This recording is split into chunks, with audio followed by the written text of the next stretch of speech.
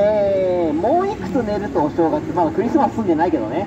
クリスマス住んでないけどもういくつ寝るとお正月って時期になりました。はい、えー、皆さん、えー、初詣行かれますでしょうかね。はい。まあ、私はここ何年かっつうかそうね45年は初詣靖国ずっとなんですけど、はい。え、皆さんは初詣に行かれますでしょうか。ね。え、私の地元今住んでるところの周りにある神社は、え、正月しか、え、人がいません、はい。寂しいね。寂しいね。まあそうね。こう神社を商売としてやろうとするとどうしてもそうなっちゃうんだよね。人を常駐させておくことが極めて困難な宗教施設なんだよな、うん、修行場でもないしさ。あのお寺はさ修行僧さんがいるからさなんやかんや言ってちっちゃいお寺でもなんだかんだで人がいるやん。けど神社はさ下手するとの本気で人いないぜ。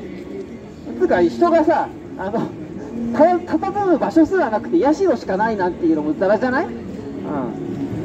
えっとねこの間、あの新宿御苑の辺りを歩いてきてたんだけど、えーと、秋物橋の方からね、その中で秋葉神社、秋葉神社かな？っていうのがあるらしいんだ。でそこもちょっと、まあ、たまたまあの Google マップで見つけたから、もしご朱印もらおう、とことこって言ったんだけど、見事にそんな感じ、社しかない感じだったね。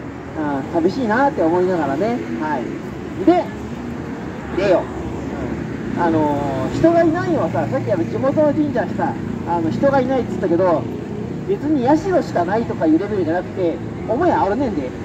社務所あるねんで。なのに人いないんだよね。うん。参っちゃうよ。であの分かり間違って人がいても今日はご主人やってないんでって言われちゃうんですよ。たまんないよね。うん。はい。であのー、まあこの時期にはしょうがないんですけど正月の時期はバイトの巫女さん宮司さんはじめえー、ちゃんといるでしょうから、えー、靖国神社にできれば行ってほしいところではあるが、まあ、それが難しければ、えー、地元の五穀神社でもいいし、まあ、それも難しければ、もう地元の神社、本当にちっちゃい神社、普段は人がいない神社でもいいんで、できれば行っていただきたいなと。やっぱ1年の計は元旦にありと申しますので、はい。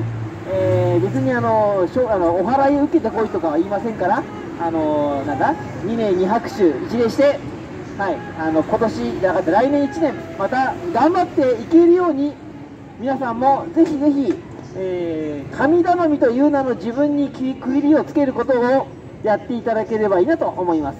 はいまあ、あの本当ね本当はね、あの英霊にっって靖国神社に行ってほしいっていうことを締めたいんだけど、まあその辺のお話は代表に任せることにして、私はとりあえず神社に行ってくださいってことだけをご説明してできればねその時についでに言ったことを示すこと示す形で、まあ、ご朱印でもお守りでも買ってもらえればさそれはそれであのまた1年の経過ってなると思うんでよろしくお願いしたいなと思います。我が国は神道の国ですよ。はい。えー、まあ神の国日本とは言いませんが、えー、まあ普通に考えれば神社の方が隆盛してていいはずなのにさっきそこでキリスト教をやってたけど神道の外政はとんとみませんからね。悲しい悲しいことであります。はい皆さんが、えー、心を入れ替えてとは言いません。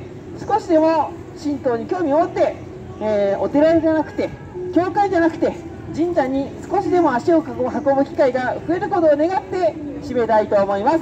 ありがとうございました。今年も1年ありがとうございました。違うなまだあるな。